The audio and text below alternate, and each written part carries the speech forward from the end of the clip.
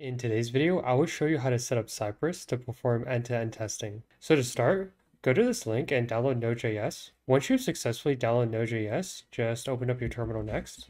And inside your terminal, just switch to the folder that you want and type in this command npm init-y and hit enter. Once you type in that command and hit enter, you should now see a file called package.json.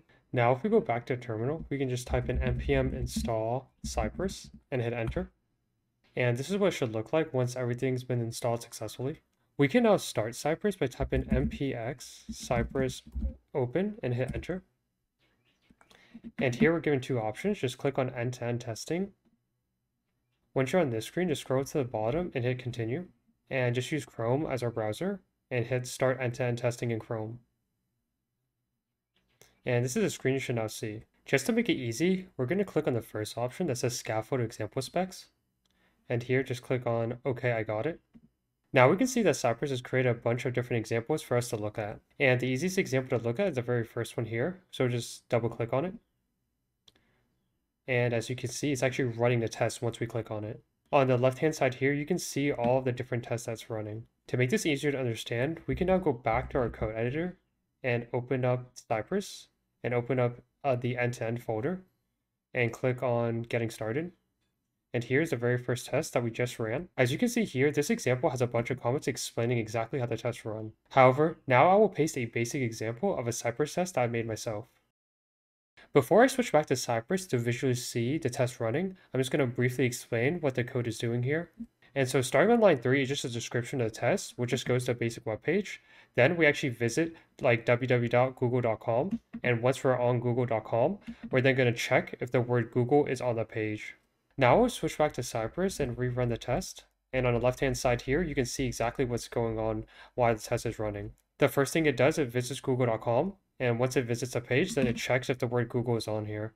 And if it does, then we'll see that the test passed successfully. Just as an example, I will now change the test so that it fails. So instead of checking for Google, if I just check for YouTube instead and hit save, and now if we switch back, we can see it does the exact same thing as before, but now it's trying to check for the word YouTube. But because the word YouTube is not on this page, we can see that it errors out. And this is the error message that it displays. Now I will go through another example that's a little more involved. So I'm going to switch back to my text editor and paste in this other example that I have.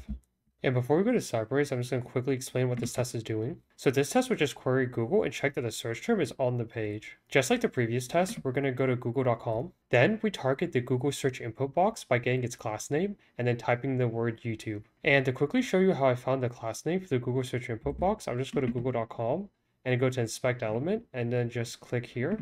And as you can see here on the right hand side, that the class name is exactly what I typed in in the code example.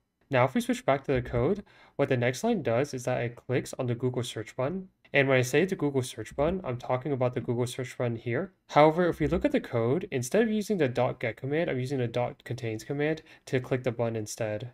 While I could have used the class name to target the button, I instead just used the contains command to show you a different way of interacting with elements. And since the Google page only has one button that has Google search, then I know it's going to click that button. However, if there are multiple buttons or multiple elements with the word Google search, then this would not work properly. And for the very last line here, this is just the actual test where we're checking if the URL should have the word YouTube in it. Now I will switch to Cypress to visually see how the test is running. And I'll just restart the test.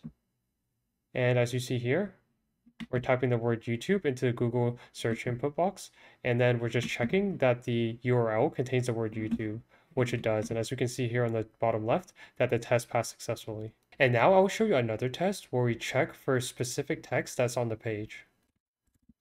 And I'll just paste in the test.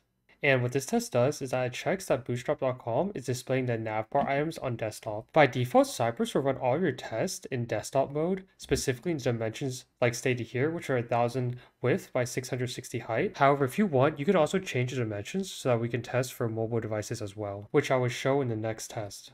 For now, if we go back to the test, we can see that we're just going to check the desktop version of getbootstrap.com, and we're just going to make sure that it shows each of the nav items correctly. And how I'm doing that is I'm checking that each of the nav items text is actually on the page.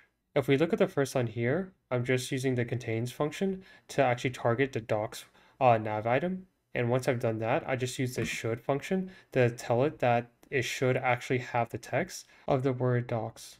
If we switch back to Cypress and rerun the test, we can now see we're on bootstrap.com and now all of our tests are passing as all the nav items are being displayed correctly.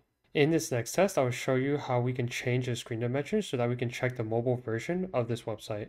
Going back to Visual Studio Code, I'll just paste in this other test. And here, we're just going to go to getbootstrap.com. On line 7 here, I'm switching the dimensions, so now it will be 300 width by 800 height, which will represent like a mobile device. If we look at line 8, I'm just checking that the class navbar toggler should exist, which represents the navbar component, which only shows up on mobile devices. If we switch back to Cypress, I'll rerun the test. And as you can visually see, now the device size, it represents a mobile device and it passes a test as the navbar toggler class is present because we're on a mobile view and not the desktop view. And those were all the examples I have for this Cypress tutorial. I will also include a link where you can copy all of the examples that I showed throughout this video. Hopefully you learned the basics of how to write your own end-to-end -end test. If this video helped you in any way, please like the video and don't forget to subscribe for more content.